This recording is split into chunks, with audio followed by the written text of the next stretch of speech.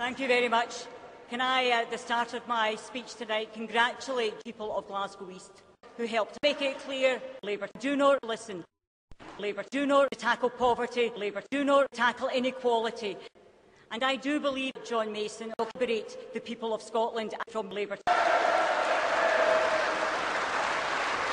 Can I, can I also make it clear John Mason will be a true champion of the East End of Glasgow?